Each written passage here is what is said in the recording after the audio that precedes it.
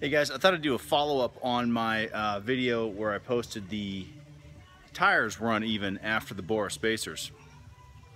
Uh, what I did uh, after some research, uh, I figured I'd try loosening the U-bolts on the rear axle um, and then try to shift the axle over. Um, I didn't expect much uh, based on what I've read and what I know about leaf springs and that type of thing. But anyways, um, I did get a little bit out of it and actually did kind of even out. So I wanted to show you guys that. So if you have the same issue, uh, you might get enough to not have it drive you nuts like it was driving me nuts. So um, I'll go ahead and show you that now. All right, so uh, if you guys remember from the last video, uh, I had um, the passenger side rear tire was sticking out quite a bit farther than the driver's side rear tire. So uh, I did loosen up the U-bolts, uh, lifted the truck up via the hitch, uh, and uh, loosened the U-bolts, and I got about uh, maybe an eighth of an inch, quarter inch or so, but let's show you. So, you see that side.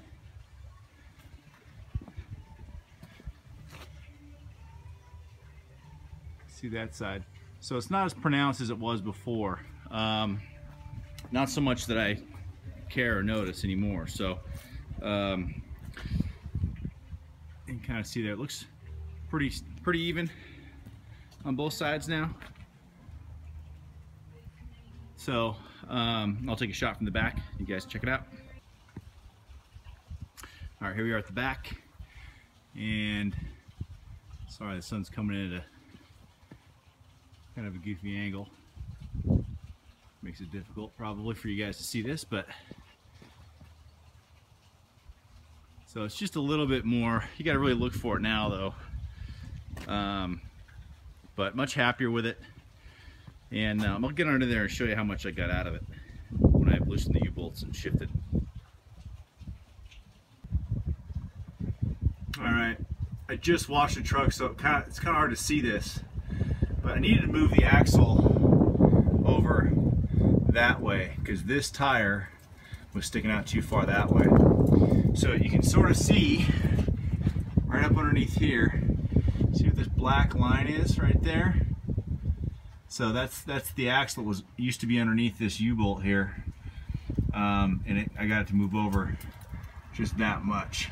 So just this little bit right here, which is just, you know, not very much, but I did get it that much. And that was enough to make it um, not so pronounced.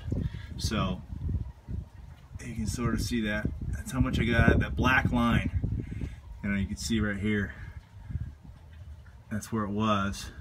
Now it's sitting where it is. So I don't know. Um, maybe got lucky. I don't know. But I'm uh, much happier now.